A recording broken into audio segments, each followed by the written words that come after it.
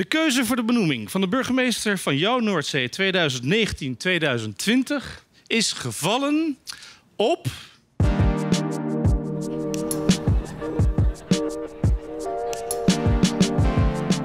Mandy Bussard, topmanager, systeemdenker en veel ervaring met stakeholder management in het publieke domein en weet om te gaan met tegengestelde belangen.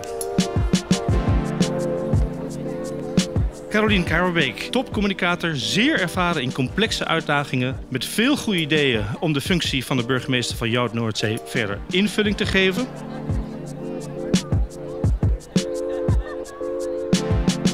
Marceline Bos, de koning, topsporter, zeiler, passie voor de zee, veel ervaring met media en bewust van de uitdagingen waar de Noordzee voor staat.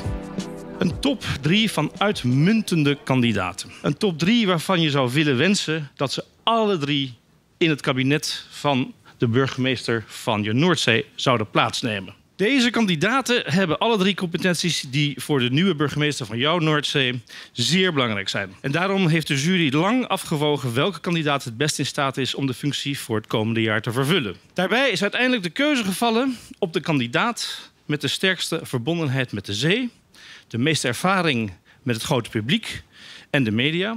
En ik kan u verklappen, het is deze keer ook weer een vrouwelijke burgemeester geworden. Ik denk het ook, ja. De keuze voor de benoeming van de burgemeester van jouw Noordzee 2019-2020 is gevallen op Marceline Bos de Koning. Marceline Bos, de koning.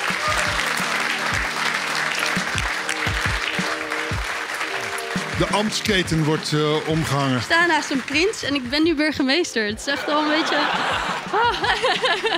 Heel gaaf. Dames en heren, applaus voor de nieuwe burgemeester van jouw Noordzee. Marceline Bos, de koning. Dankjewel.